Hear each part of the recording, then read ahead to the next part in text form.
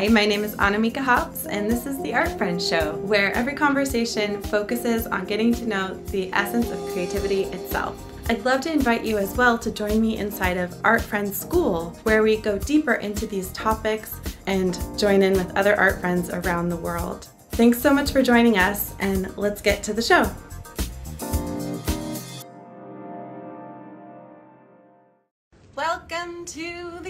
Show. Here's an artist I'd like you to know. So, hi, my name is Annamieka. I'm an artist in Portland, Oregon, and today we have a very special guest for you. Her name is Jennifer Orkin Lewis, and you may know her from her name August Wren here on Instagram. Jennifer is a person who I perceive as holding a lot of quiet power, and I have watched her build her career over many years now in an incredible commitment to herself and her art in a daily painting practice. So, without further ado, I'm going to invite her to join us here in the live and we'll get to know her. Thank you so much for joining us. Hello, Hi, Jennifer. Hi. Hi, welcome to the Art Friends Show. Thank you for coming on for an interview today. I'm just trying to like set this Oh, up right. Um, hi. Hi. There. Yay. It's good to so, see you. It's so nice to see you. And um, for those people who are tuning in here, can you just give us a, a quick nutshell where you live, what you love to make, and um, perhaps even how we met? I can tell the story or you can. To you. Okay, well, I'll just tell you about me. So I'm um, a painter and illustrator. I live in New York. Um, I'm in New York City right now. Um, I use gouache and watercolor. I, I license a lot of my work for products and I um, have, I have some books and I um, teach. I do workshops around the world and I do um, live Zoom classes. And yeah, I'm, bet you could probably introduce me better than I could talk about myself. Okay. I, well, I, I, I thank you so much for for giving yourself that introduction. And as a part of this show, I'm doing a hundred art friend interviews in a row, and part of it is to learn how to interview people and um, understand the best way to set you up for success as a guest too. So I just want to give you the biggest hug and thank you for coming in here to have this conversation. Jennifer, when I first met you, I still actually right now am so starstruck in Oh. this in this yeah, yeah. But we're going to talk about that because one thing, one quality about you that I admire so much is your incredible dedication to your craft as an artist, to your practice, and and your amazing embodiment of this like peer-to-peer welcoming sense of belonging that I feel is such a strength in my own personal art heroes. And it's it's one of the parts of our niche as self-represented artists that that I love so much. And I feel like you're you're a leader in our community, and you just you embody this incredible um, humility and and strength together that that I admire very much. So That's very kind. Thank you. yeah. Um, when I first met you, we went to um, a gathering of friends and, and new friends, all working artists, um, hosted on Long Island, where we, we hung out for a weekend and painted and shared about our businesses. And I remember just absolutely freaking out when I got to see your paintings in person and your your incredible accumulation of daily practice is it is astounding and also gorgeous. Um, can you tell us a bit about the your decision many years ago to begin painting every day and a bit of um, how you got started? Yeah, so for many years I was a textile designer and I worked in the industry and I had, you know, I had a nine to five job and I went and, you know, um, and I really ended up hating that and having to leave, but it really gave me a really strong foundation in painting because we would paint patterns and recreate the colors or make new colors and have to work on color combinations. So, and I learned how to mix gouache exactly to, to match other colors. So when I look back on all those years that I maybe hated a lot of it, mm-hmm. it was very, very helpful for me for what I am doing now. Yeah. And um, so when my son was in high school, I realized I wanted, I didn't want, I needed something more.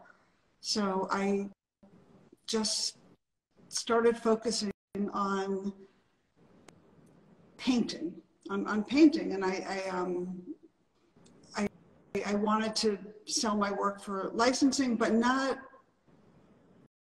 I didn't have a really clear goal. Yeah. So what I ended up doing was just starting a daily painting practice. It was yeah. in 2014 and I got a cheap sketchbook and I just I gave myself rules of 30 minutes a day, whatever medium I wanted to do, but it usually was gouache because that's my thing.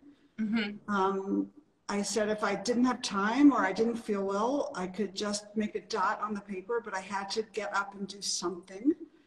Um, I used a timer and I just went for it.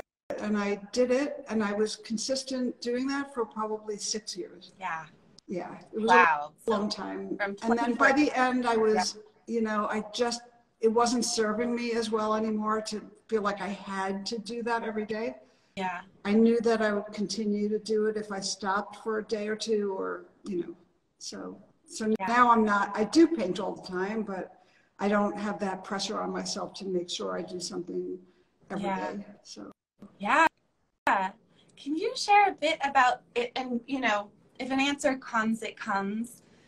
Um, how that might have transformed or evolved you as a person to do that painting practice. Yeah. How did it change you? Oh my God. Well, first of all, I never thought I could do something every day. I, I never thought that I could be consistent or disciplined. You know, I brushed my teeth. That's what I always say. I, before that, like I brushed my teeth every day. or, yeah. you know, I went to sleep or so. things that you just do. Yeah. But um, by doing that every day, I learned that I like I have some control. I, I think it is a little bit about control. Like I felt like I could just doing something every day made me feel stronger.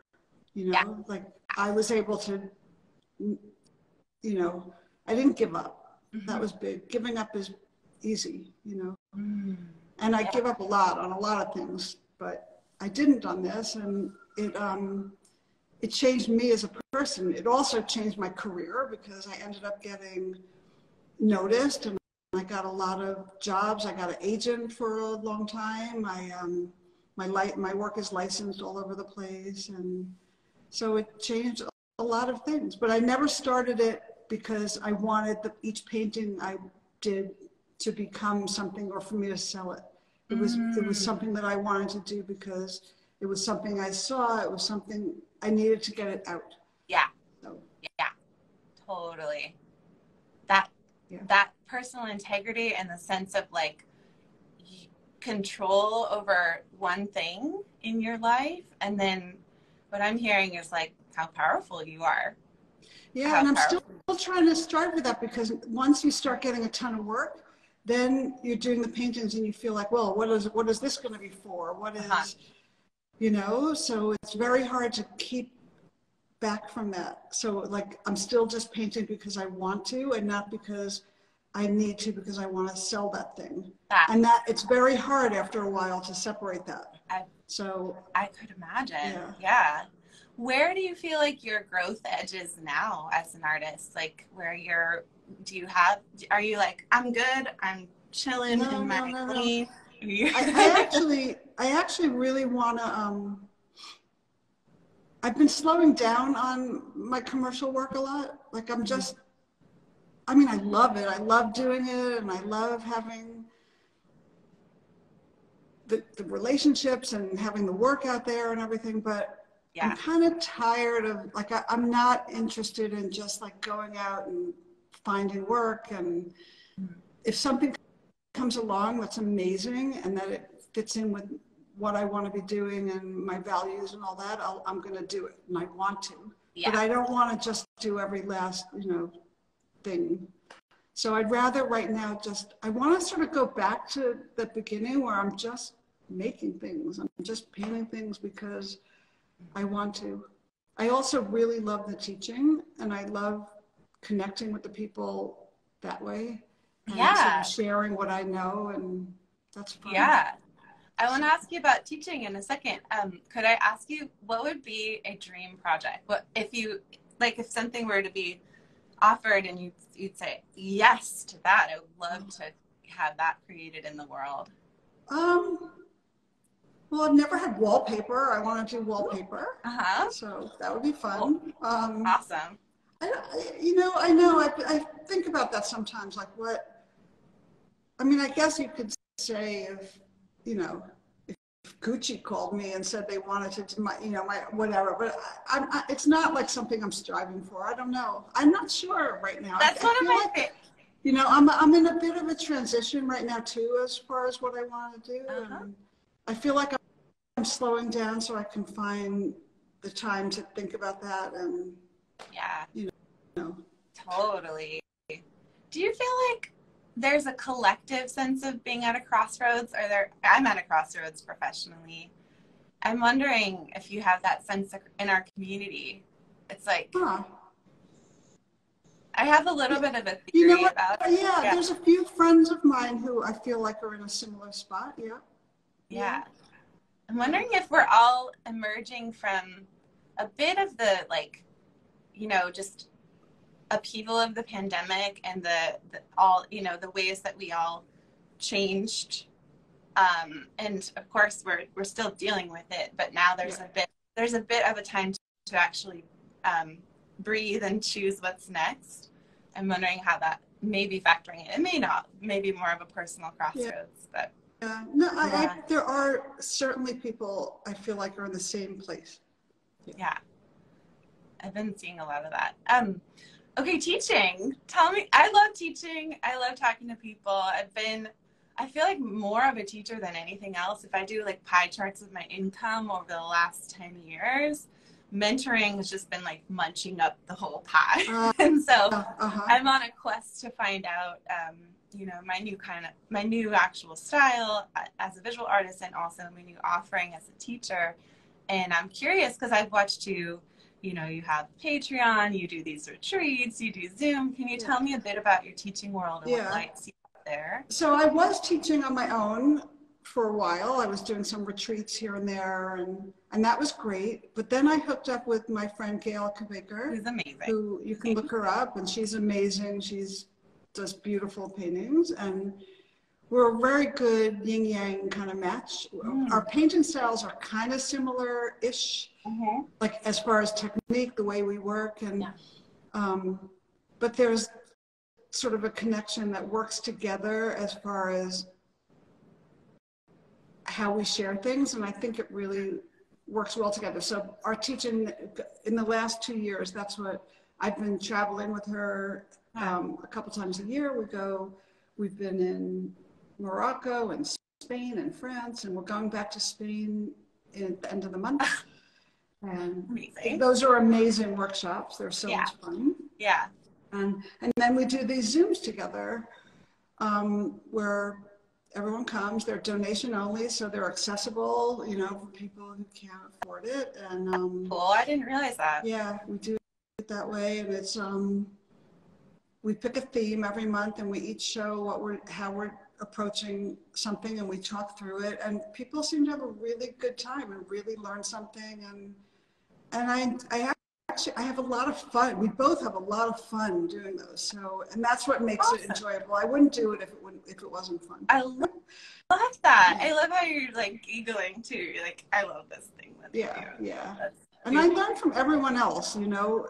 Oh yeah. You, you know, it's amazing how much like back and forth you get. So I I always yeah, I I mean I learn so much from my clients and my students. It's it, it's so fulfilling to participate yeah. in you know and co-create really teaching. We we don't know everything as the teachers. We're holding the space. We're sharing what we know, and we're we're yeah. Um, your scarves are gorgeous. Oh, Can thanks. we talk about your scarves a bit? Yeah. So That's I have um, I'm actually wearing one. This is an older one, which I, I actually turned, can you even see it? Yeah, it's This is an beautiful. one. And I actually just found a few, they're not on my website, but if anyone was, is interested, just DM me. Oh, you I'll- have a few. I have a few, I found a few, like. I, I'm always cleaning up and then I find things because I put, I, you know, squirrel things away because I might want it someday. Cool. So, But I have two new ones coming out. Um, they're in customs right now. I'm just waiting for them to be released. So that I should have them by the end of the week or next week. So they'll be up on my website. I'll probably start a pre-order soon. And I unfortunately do not have them to show you in front of me, but they're really big 44 inch square modal silk and the Ooh. like floral, like big giant floral and like the detail of the paintings are, it, it just came out beautiful. And I'm really, I think they're my favorite ones I've done so far. Oh my gosh, I'm so excited for you to get them and that moment of you opening the box. And Yeah. how incredibly full circle is that, you know, do you, from your um, career at first in textile design? Oh, I know, isn't that funny? And and I don't have, I don't want to have like a big, I don't want to be the kind of, I don't want to have a business where I just have lots of product and I'm shipping, but I do love doing the scarves. And so I just do a few a year or something. You know, it's just like a little side hustle, I guess. But, Yeah, but it's fun and it's very um, satisfying for me. that's amazing. So. Ugh, you're so cool. I love talking to you. um, okay, we we floated this idea and we were gonna feel it out. Do you want to do a a quick mini painting while we're Uh, chatting, or do you want to um, wrap this one up? No, I don't have to wrap it up, but I, I realize we, we did say that, but I don't have the right pad in front of me right now. I have to walk over there or something. Okay. Well, Okay. All right, give me a second. okay, cool. I'm gonna grab my art materials oh, too. Oh, I, So, actually, it was right here. I got it. so you have to know how incredibly like flexible and spontaneous Jennifer is being because I was like, hey, in addition to an art friend interview, let's draw each other's portraits while we're talking. Yeah, this is going to be interesting.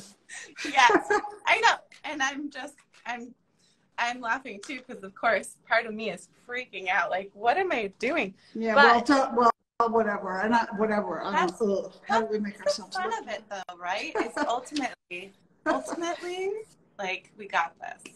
All right, let's just do it. Okay, let's, We'll just do it. okay.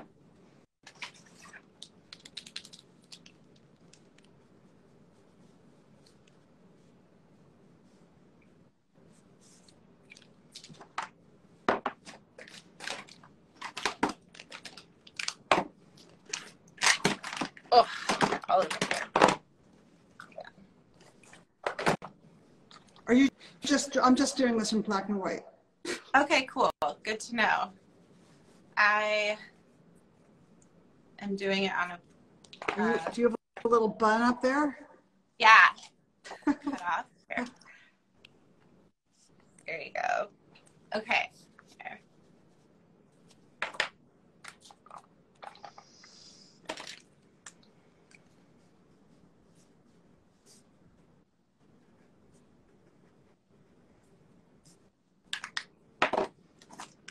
All right, now, okay, so this is hard, people watching, because um, neither of us are staying still, right? Because we're- Yeah. I was bouncing all around trying to grab my materials, so we got Oh. this. So this is like kind of a just person portrait. Yeah.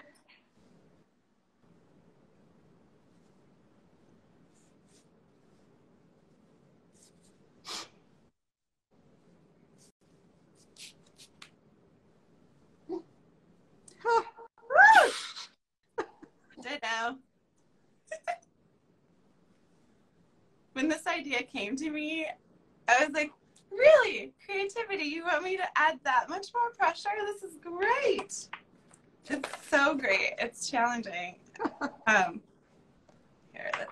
see here. So any artist watching, all the kind of like kvetching that Jennifer and I just did is like so normal in the creative process where we're we're saying, okay, I believe in myself, but the conditions aren't quite right, so please forgive me for whatever the outcome is.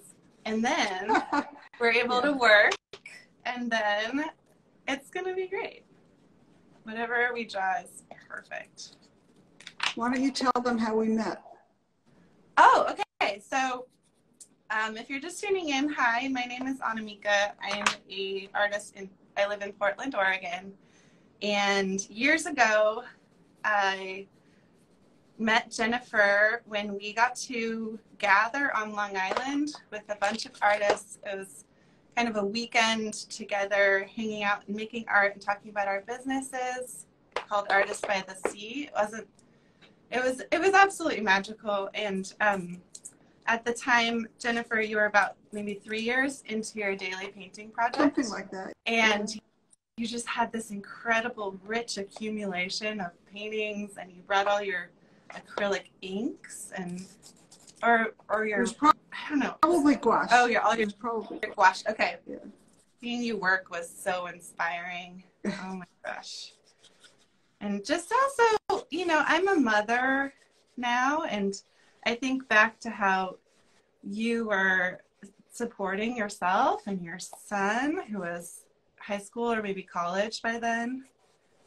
And uh, just, you're just so inspiring to me. Oh my goodness. Working through, through your everyday, through, through your headaches, which we're grateful you're no longer having. Yeah. Oh my goodness. And just sharing with all of us. You really shared your process generously as you're doing right now. Honey Ben. Let's see, I can't find my pink. Hmm.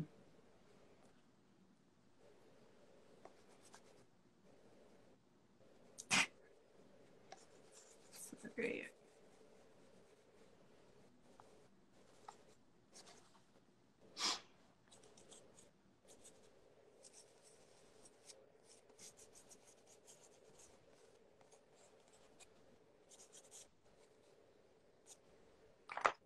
I'm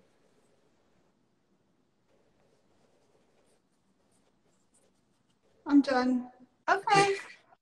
Want to see? Um. I'll hold it sec. out. Yeah. Just a second. I need like Okay. back to frame this one out. All right. I feel like I look down. like super midwinter. Like you're you look like sun, and I look like winter dark. I love that. It reminds me of how you sometimes paint yourself in tropical settings. Yeah, yeah, yeah. I always do Yeah. that. Okay, my love, ready? Ready? Uno, One, two, three. tres. Go. Oh, there you go. I love it so much. That's so oh. great. What did you do? Did you put that? Did you paint on a black ground? Yeah. Oh, I love that. That's so great. What's fun? Oh, oh my gosh, I love that. Look, you got, oh, I love the pattern you put. Look at that. Oh, Oh, that was so, so fun. Aw, thank you, dear. this is Art friend. yeah. Yeah. This is my sketchbook. This is the sketchbook I use for just sketching and ideas and. Da, da, da, Can we see It's just a little bit of one of your sketch? Oh, your recent one with your women's history? Oh yeah. Maybe so this we'll month I'm painting. end with that. This month I'm painting um, women's just um, from. I love painting from vintage photos. So this is my. I, I'm doing just doing them in my sketchbook, but so they're old black and white photos, and Oh. I'm just um, like. You can see. Oh my goodness. Y'all. She is Um, one of our living legends. Sorry, I don't You know, like this is my grandmother and my mom, and this one is just a random person. No, this one actually was my mom. It doesn't look anything like her, but you know, I love that reflection actually. Yeah.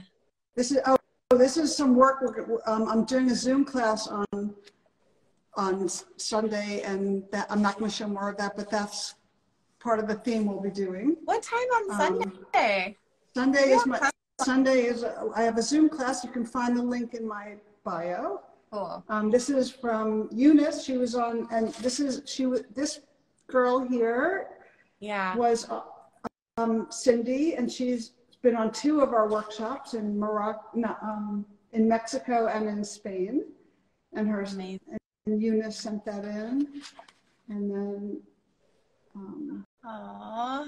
someone sitting in the grass. And this one I haven't. I'm not quite done. I haven't posted it yet. That's today's. Oh wow. We get our sneak Yeah. peek. Beautiful. So You're Yeah, amazing. Thank Yeah, you for I sharing yourself with yeah, us. you're welcome. Yay. Hmm. Well, this has been a treat of a treat to get to see you and talk to you. Just came in, so I might. uh, Can you hear me? I can hear you. Yeah. Okay, a phone call just came in, so something happened, but I think it's okay. Okay. Yep. Well, we're just wrapping up. So thank you for joining us for this Art Friend interview with Jennifer Orkin Lewis of August Wren.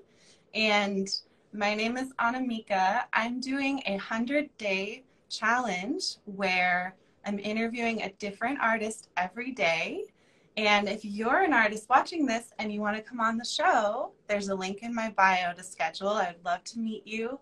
I'm doing it in an effort to workshop the idea for this show long term, learn how to be a better interviewer, and I'm also at a crossroads professionally. I've been working as a creative mentor and I, I work deeply with clients, and I want to kind of find out how to offer that in a bigger way. So every conversation, we're meeting a different artist, we're talking about creativity, and I'm just so touched, Jennifer, that you that you're like, hey, I signed myself up. Oh, it'll be good to see you. I'm just like, yeah, it is. This was fun. I enjoyed it. yeah. And if um if you know other artists, Jennifer, who you think would love to come on, Okay. um, I'd love to meet them. Okay. Like maybe Gail or Yeah. Yeah. I, I'll tell them. Yep. That'd be amazing. Okay, well, so much appreciation. It was so fun to play with you. I'm gonna mail you this, so I'll follow Oh, up okay. I can do that. You don't have to. You don't have to if it's in your sketchbook. And um, all right, everybody, we'll Bye, see you everyone. tomorrow. Thanks for Thank coming. you. Yep. Bye. Bye. I'd love to have you inside of Art Friends School, where we go deeper into these topics. Follow the link that's in the show notes or find it on my website at annamieka.com.